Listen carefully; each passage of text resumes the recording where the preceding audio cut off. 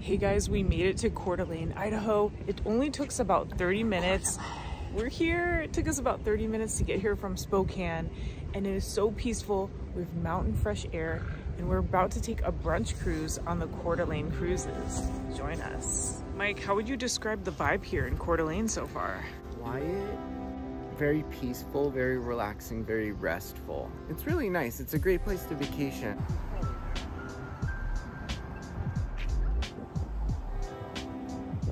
So this is the little downtown here near Independence Point in Coeur d'Alene. And as you can see, it's very walkable and it centers around Front Street and Sherman. And there's a lot of art here.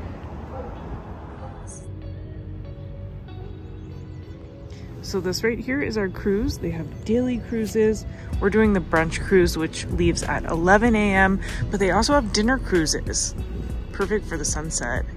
And it's very chill here on a Sunday morning. Not a lot of stores are open yet, but we shall see what the city is like later on.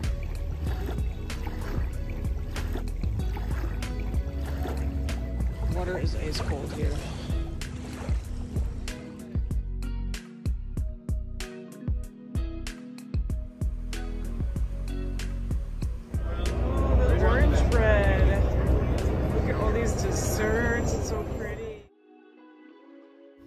We check out the flavorful buffet on board the Coeur d'Alene cruise, brought to you by the award winning Coeur d'Alene Resort culinary team. This 90 minute cruise is an exciting way to view the lake. The cruise is the perfect way to enjoy the summer here in Coeur d'Alene, and they're offered from May through September. Mike, how's the cruise so far? Amazing. We're on the water. Woo! Having brunch on the deck here.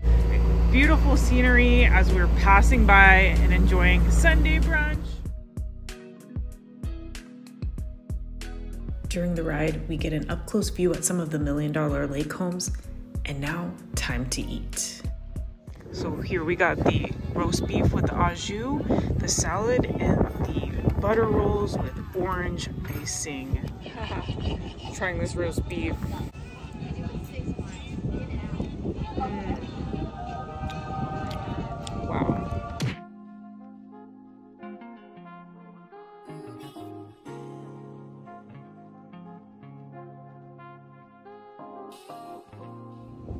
Trying the orange bread. So flaky. Oh, it's like an orange croissant. It's good. Found my new house.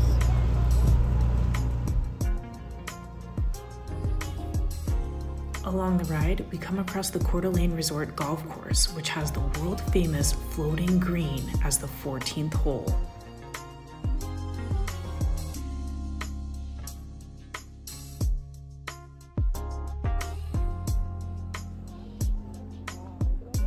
So we just finished the cruise and it was so much fun. The food was surprisingly really good. We finished it off with chocolate covered strawberries and now we're gonna go take a hike on Tubbs hike over there, the three mile Tubbs loop. Hill. Tubbs Hill, let's go. Look at how green this grass is. We're seeing that this city has a little bit of a Victoria, BC vibe to it.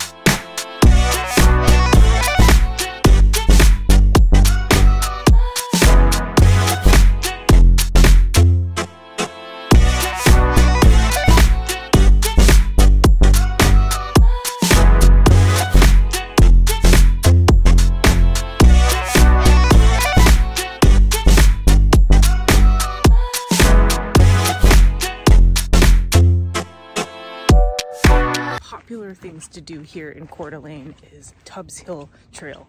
I mean, you can literally do a little day hike here and it's only three miles round trip. Woo. Guys, we have reached the summit here on this trail. It is so beautiful. We're standing on this rock and you get 360 degree views of mountains and Lake Coeur d'Alene.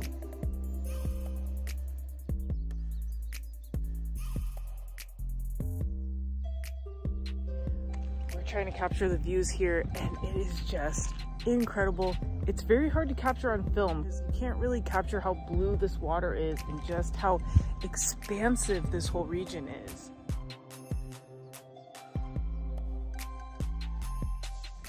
I'm using this tree as a tripod.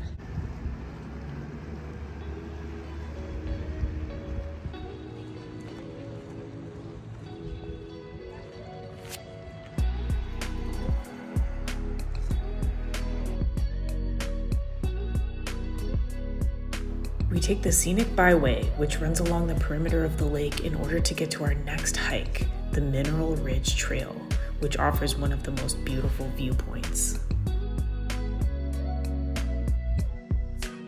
We're gonna go hike the Mineral Ridge Scenic Trail.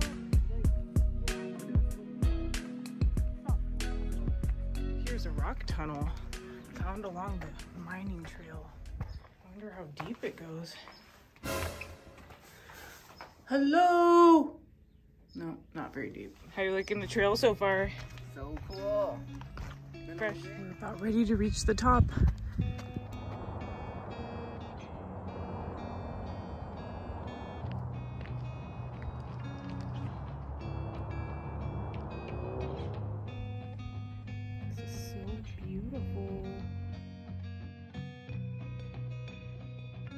From the top of the trail, we're able to see looking west some of the most beautiful fjord-like views. This trail rises 700 feet in elevation and offers one of the most lofty overlooks of the lake. The air is alpine fresh and the views are crystal clear. This is incredible. Incredible. From the top here, you can see all of the houses down below. Looks like a little storybook land, and the water is just glistening.